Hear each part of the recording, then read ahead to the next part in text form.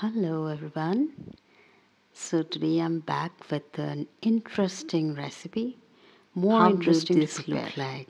Isn't this beautiful? Braided envelopes of paneer, stuffed paneer. Okay. So let's get started with this. I have taken two cups of maida to make the dough. Half a teaspoon of salt. Just mix it with a pinch of kalonji, that is kala zira, and then mix well. Rub it with your palm, and then make a well in the center and add one third cup of vegetable oil, refined oil. But yes, not at a time. Just uh, add a little and mix it gradually. Mix till the mixture is little crumbly and it starts to bind. So just with your palm, if it holds the shape, then it's fine. You can add some water to knead. Uh, after kneading, keep it aside and keep it for rest for some time or till the time you prepare the filling.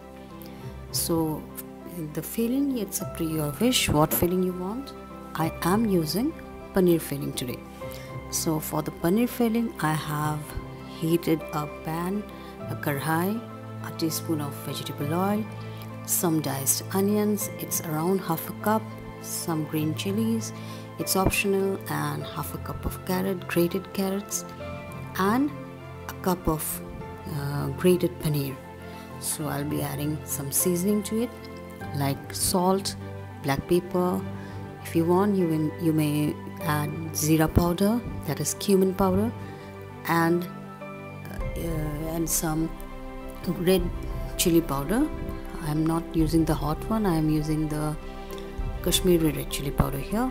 So saute it till the mixture dries up.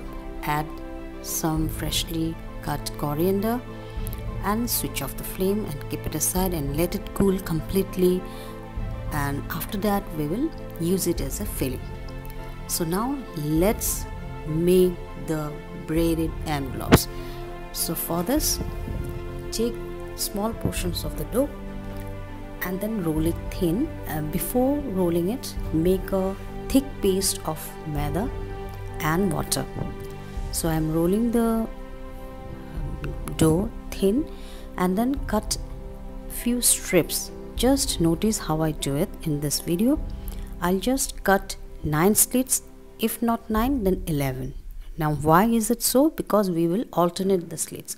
You may see in the video I'm alternating the slits and seal the edges just alter the slits. It's very easy. Uh, the first one you may find it difficult but once you do start doing it's quite interesting also and looks very fancy. Anything which is served beautifully tastes more beautiful isn't it? So yes you it's always a good it's always we say now we eat with our eyes first then it from with our mouth. So yes uh, so feel the feeling a bit and then roll it with your very light hands gently roll and then seal the edges where the filling is filling has ended so seal the edges with your finger, tap it a little, and then use this uh, thick paste, thick paste of butter and maida. I took one teaspoon of maida and half a teaspoon of uh, water to make this paste, and then I'll just slowly roll down and seal the edges again with a fork. So this is how it looks. Isn't this beautiful? Yes, it's very easy and it's more or less a modern samosa which went for a makeover. Yes, you right it you, you heard it right. It's modern samosa with a bread. So seal the sides properly with a fork. You may even fold this, but uh, with a fork it looks much more better. So it's look like a fish tail, isn't it? So I am again showing it for the second time. Notice it carefully and do give it a try. So if you are new to my channel guys i request you to kindly share like and subscribe to my channel. I am Darshana a home baker and a teacher by profession and i love sharing uh, videos cooking videos which a beginner can also give a try.